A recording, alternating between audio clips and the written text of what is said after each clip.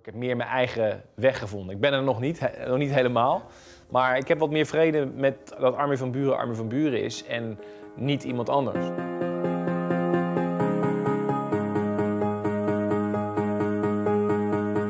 Nobody here knocking at my door. The sound of silence I can't take anymore.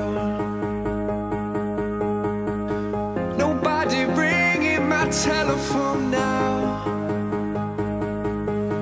Oh, Het zijn verschillende momenten. De DJ Magazine Awards hebben er natuurlijk bij geholpen. Eh, de Koninklijke Onderscheiding heeft erbij geholpen. Maar niet alleen onderscheidingen, ook gewoon eh, de dingen die ik bijvoorbeeld met mijn radioshow heb bereikt. Of de, wat je elke week ziet op Twitter, dat mensen massaal naar eh, State of Trance luisteren. Ja, dat doet wat met je. Daar kan je niet over liegen, dat, dat is gewoon zo. En het feit dat je gewoon wat dat betreft meer in de comfort seat zit, dat is gewoon een heel lekker, heel lekker gevoel en een voordeel van ouder worden. Dat je op een gegeven moment gewoon iets doet waar je je prettig bij voelt en wat je leuk vindt en wat je, wat je drive is.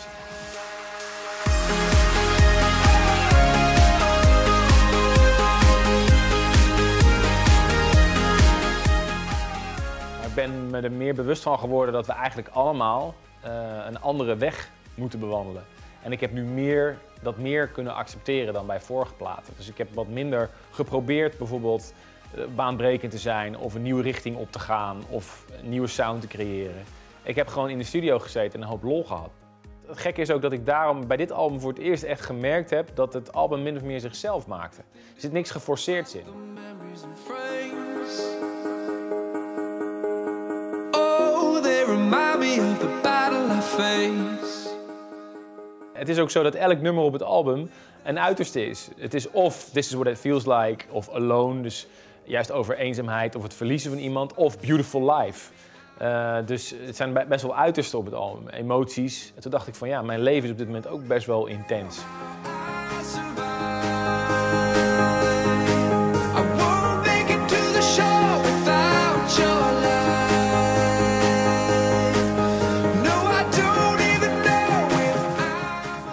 Genres wordt altijd heel erg in hokjes gedacht. Weet je, wel? je mag, als je trance bent, mag je niet buiten dat hokje denken. Als je house bent, mag je niet iets anders maken. Als je klassieke muziek maakt, mag je absoluut niet met dansmuziek in aanraking komen. Ik vind dat, ik vind dat echt onzin. Ik wilde een nummer maken waarin eh, eigenlijk al die stijlen in zaten. Dus de hoofdmoot is trance, maar er zit klassieke muziek in. Er zit eh, house zit erin, een beetje à la Punk. Maar er zit ook eh, dubstep in. Een knipoog naar dubstep. Het is geen dubstep plaat, maar er zitten allemaal knipogen in.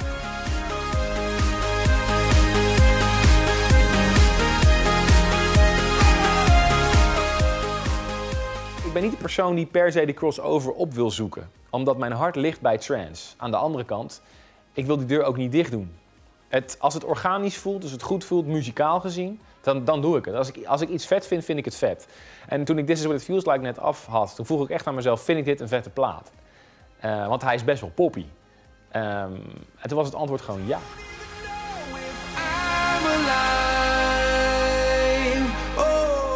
Het helpt de muziek weer verder. En dat zal voor sommige mensen wennen zijn. En dat kan ik me heel goed voorstellen. Maar dat is ook prima, weet je wel. Eh, Dit is mijn plaat, hier sta ik voor en hier moet je het mee doen.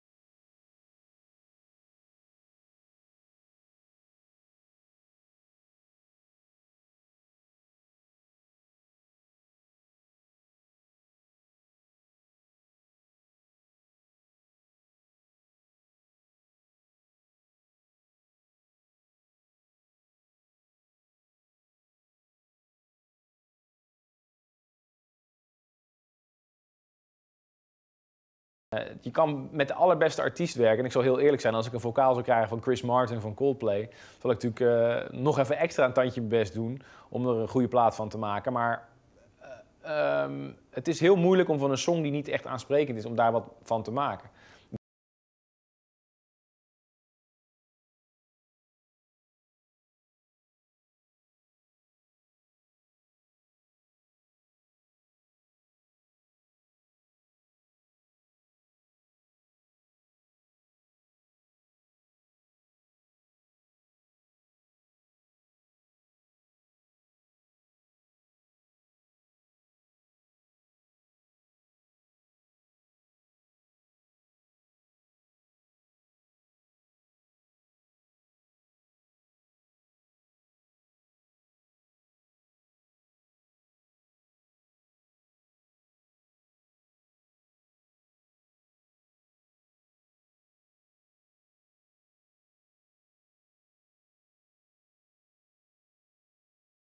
Het gaat mij er nu meer om dat ik, ja, dat ik meer geniet in het van het leven zelf.